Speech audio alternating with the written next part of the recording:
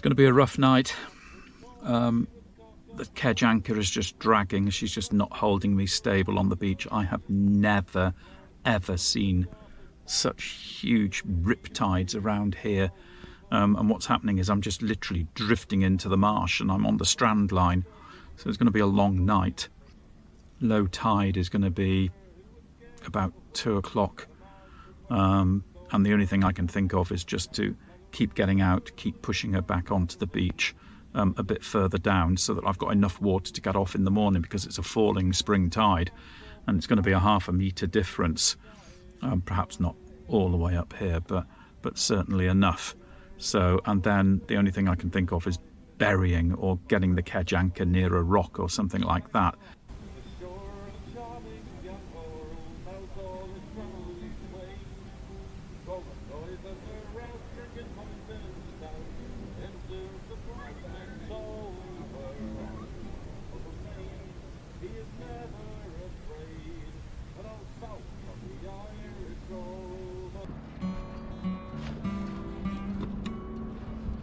Such a privilege having Plymouth Sound as my home waters.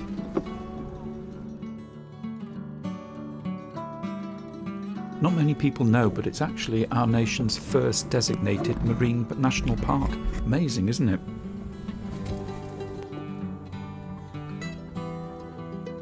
We've got such a great mixture of sea, tidal, rivers, lagoons, and there's so many ecosystems to explore in this area. I mean, you've got estuaries, mudflats, salt marshes, sandy beaches, pebble beaches, reed beds, there's kelp forests, seagrass meadows, everything. It's an absolutely amazing place.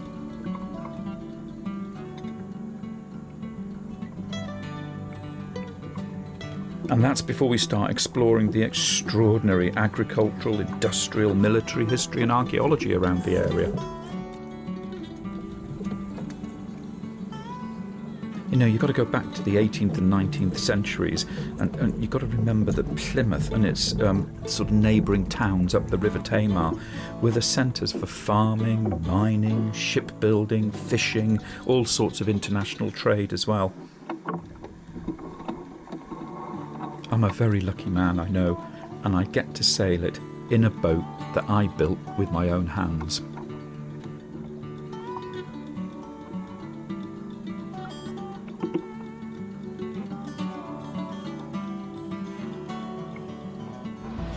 Just had the Cawsand ferry coming towards us now, and she's just passing by.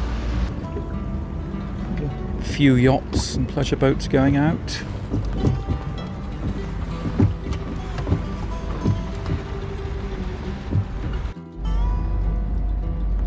Literally being carried out on the outgoing tide here. Little to no wind whatsoever. Which is what I which is what I was expecting.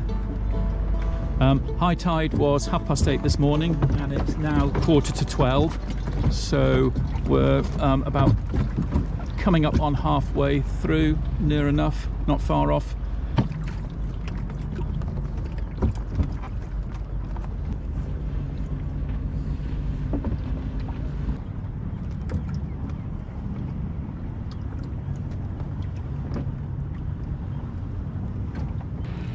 Not a big fan of light wind sailing. Always bouncing around a bit and always makes me feel slightly seasick. So, not the world's biggest fan.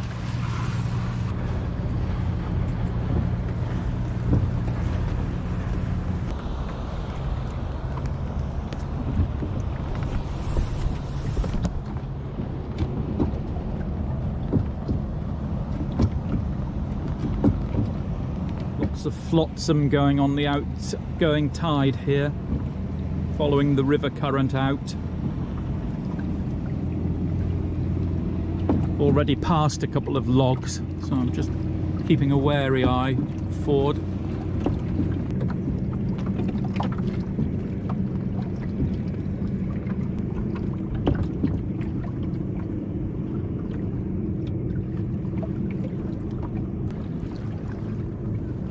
Been such a difficult summer for sailing. The weather has just been absolutely pants. Um, and every time I've managed to get somewhere where I thought, oh yeah, I can go sailing, um, a weather front suddenly came in and you had 15, 20, 25 knots of wind. Then we had a few storms. Um, and then on a couple of occasions, I've had, I've been ill, and you just think, you know, it's just conspired this year um, against me. But here we are. Um, not ideal, could do with a bit more breeze, but we are out on the water, and that's the main thing. It's so nice to be out here. Admiralty barge over there, just uh, coming off the big RFA supply vessel.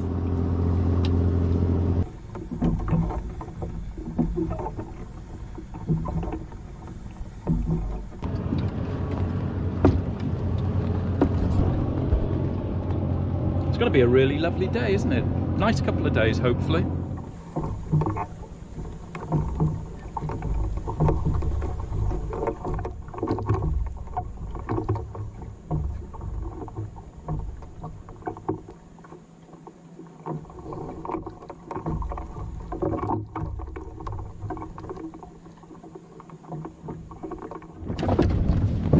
Fishing boats on the move. Got a load of punters on board. Caught a few mackerel. Not big ones, but a few were coming in.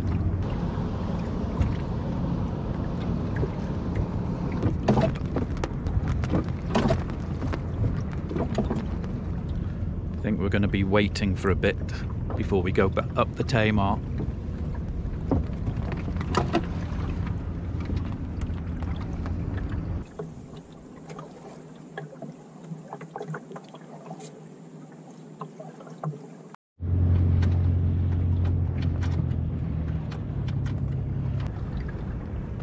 Not many with their sails up, but we're going.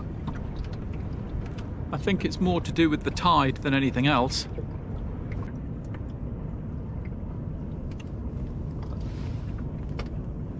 I've repaired the roller furler.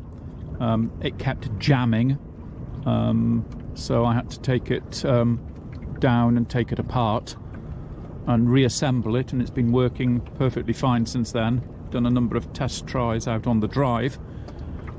If you're going to ask me what caused it to jam, I have no idea. But every time I did it, it kept breaking. Now it seems fine, just one of those things. A Couple of new burgees. Um, the blue and white one is the small tradi- uh, traditional sailing boat. That's a forum on Facebook, and it's a lovely group actually. Very friendly and lots of interesting stuff there, and some very talented people. The yellow and blue one is, of course, um, the Dinghy Cruising Association, and again, they're on Facebook, but they've got their own website, and they're well worth joining. Um, they have an annual program of rally meets, so if you're UK based, um, there'll be a rally in your area and the people are incredibly knowledgeable, incredibly friendly, really helpful. Um, you learn loads, whatever level you're at. And their journal, their journal quarterly is absolutely fantastic. Four times a year, packed full of rally reports and articles about small boats, um, dinghies, uh, uh, cruising. Um, well worth joining.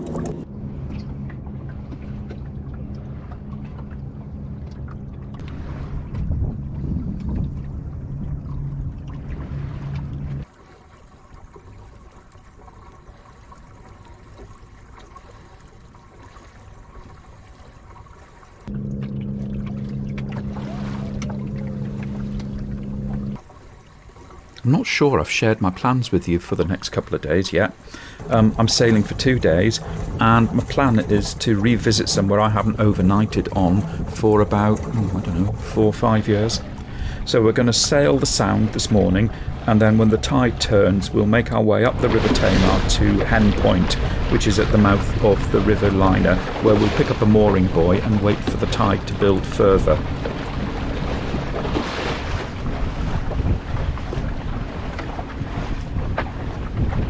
Uh, as soon as the tide starts building, we'll then head up the river Lynher to a place called Dandy Hole, and just on the northern side of Dandy Hole, um, there's a little um, mud shingle beach which is backed by a lovely salt marsh, and that's called Red Shanks Beach, and that's our destination for tonight.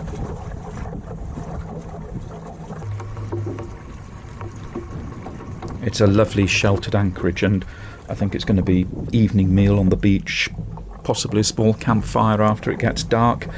Um, and with a bit of luck, we've got cloudless skies tonight, so some Milky Way astrophotography might be in the frame as well.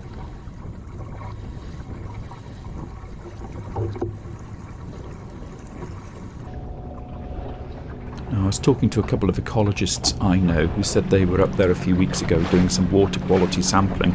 They saw lots of otter scat around the salt marsh area. So you never know, tonight you might see otters. And that would be great, wouldn't it?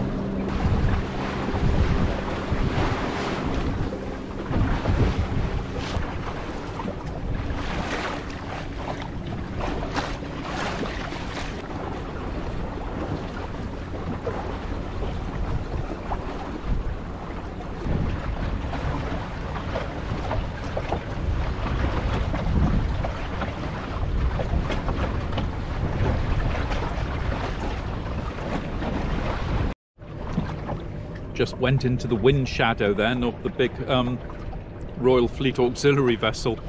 It's really weird, isn't it? It's amazing how they block that wind. The wind has shifted around to the south and it is just beginning to pick up actually.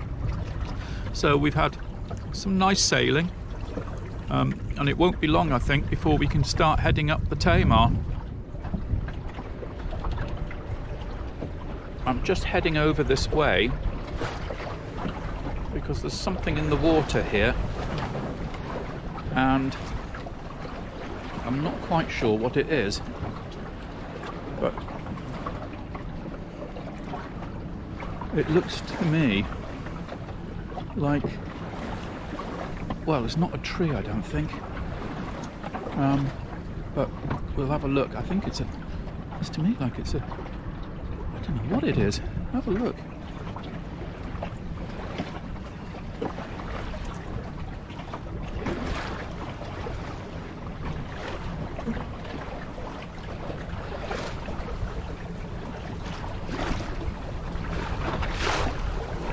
Um, it must have been um, hit by a propeller or something like that, bless its heart. Um, looks as if it's been in the water quite dead quite some time. Very sad. I know there's been quite a few dolphins um, up the Tamar and around over the last few weeks, um, and the boats will try and get quite close to them. So, okay, we'll pop around and uh, take a sail into Cawsand Bay and then we'll be ready to head up the Tamar, I think.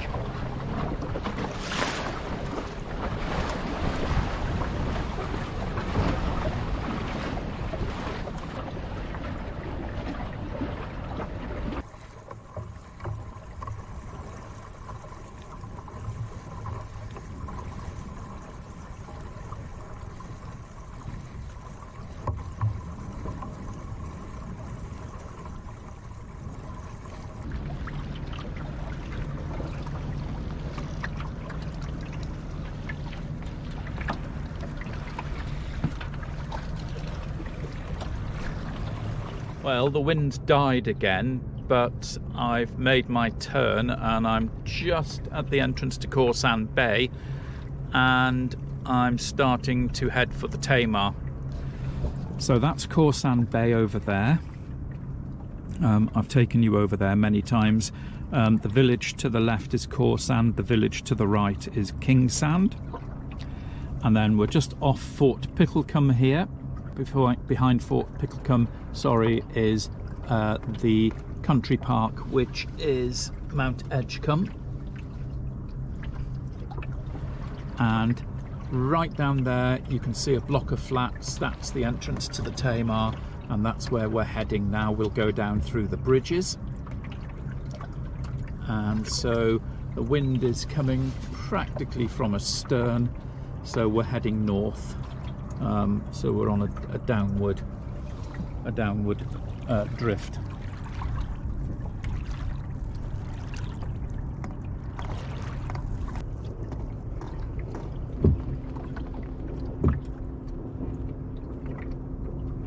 I hope there's a bit more wind when we come to the Torpoint ferries, or else it's going to be very embarrassing. Making this progress between them, they are not going to be happy.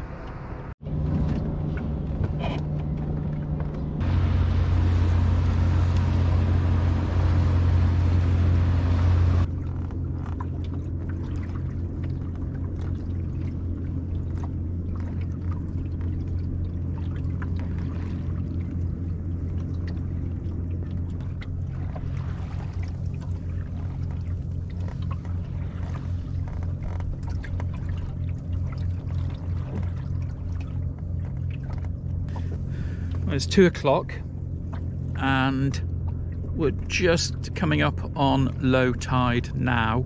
So the tidal flow is minimal.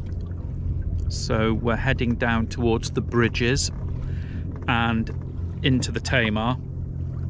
And with a bit of luck, we should make it up the Tamar, being carried a lot by the incoming tide, I suspect. There is a little bit of a breeze, but it's very, very fickle. Um, it just keeps filling and, and then dying away. So it will be a lot of tide carrying us, I think. But we'll see how we get on. I sort of have this determination not to be motoring or rowing today. Um, Arwen doesn't row that far. She was never built for long distance rowing. She she just isn't. She's too broad. Um, so small amounts of rowing, fine, but not anything lengthy. So I'm hoping we've got enough wind because I don't want to use the outboard if I can help it. You can just make off that point where the white marker is. There's quite a few hazards there that's why you go through the bridges. You can see old pylons, um, a couple of rock outcrops. Um, you know, foolish as the sailor who tries to take an, uh, an inside shore cut through there. I've been keeping an eye out for the porpoise, but I haven't seen any. Um, and I haven't heard any reported sightings in the last couple of days. So perhaps they, they um, went off somewhere else with the bad weather.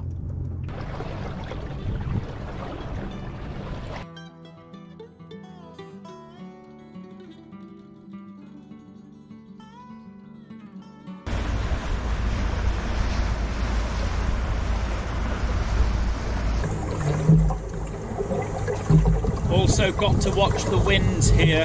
Um, we start getting all sorts of funneling effects as you come through the entrance. Uh, the tide should carry me because the tide's coming in. So that's the Cremyll gun battery. And that's the Royal William Yard. And we've just got one of the MOD police boats just going down the side of me. It's as I feared, the wind has died somewhat as we came around here.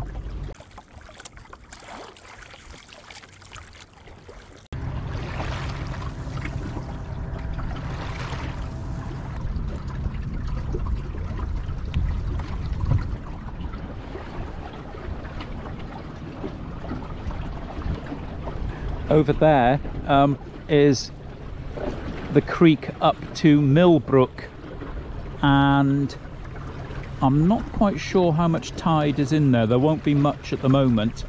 Um, but the low shed you can see is the Southdown Marina. It's, there's a nice cafe in there as well. Um, I'm just trying to decide whether I feel brave enough to um, have a little explore in there. Scary, it's because I'm bound to get stranded. Let's give it a go. Or, or I'll lose the wind. That's what I'm more fearful of because it'll be in the lee of that headland.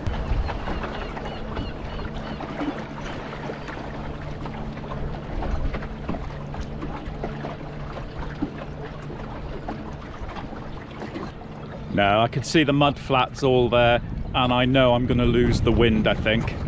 Um, so maybe we'll pick it up tomorrow. I'm brave, but I ain't that brave. there we are, I've just lost the wind. I knew I would. That headland. Okay, let's uh, head back up over there to the main channel. Oops. And see if we can um, see if we can uh, pick up some of the wind. Well, I found the dolphin. They're up here. It's literally one has just come up for. I didn't have the camera. One's just come up for a nosy, and has gone down. They are such shy creatures. No, he's gone down. He's snuffling. Well, we'll keep an eye out for some more. Aha! What's that? I think they're over there. I think I've just seen them. I think they're just over in that area.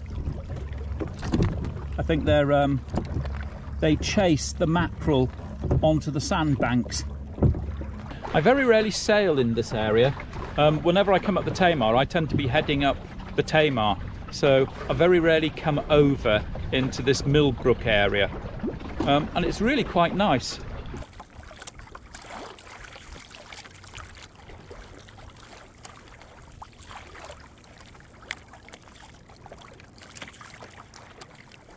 when the tide's in, um, this would be a really nice area to sail. But you can see those flats, um, very extensive. The wind has died just when I didn't want it to, which is basically approaching these ferries. And I've got an inkling that at this speed we may well have to lower the motor actually to get through. Okay, we've got one arriving. We've got one well clear. So only pain in the backside is going to be that one over there because they're about to set off. Wind has picked up, which is exactly what I needed right at that right moment. So that's good spoke too soon, the wind's just died. Ah, no, that's not what I want. Oh, come on, come on, come on. Be nice. Didn't make it. There it is. There was no way I was going to do it, so I'm just holding off in a minute, and as soon as I can, I'm going to do what that boat did, which is go around the back of it. I knew it was going to be a close run thing,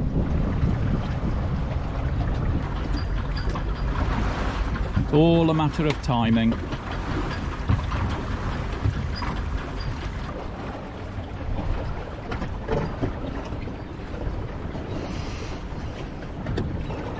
There's the big frigate yards.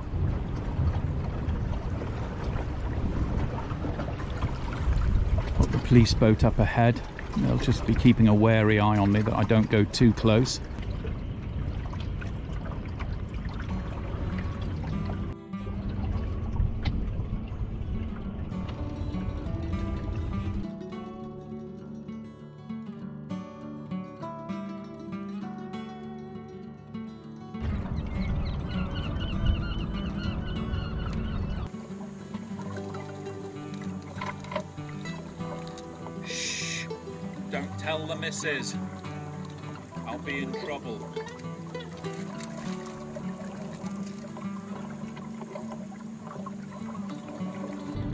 What I'm going to do is um, go up to the mouth of the Lynher um, to a place called Henn Point and I'll just moor up, take a vacant mooring at Henn, Henn Point and just wait for the tide to build for a bit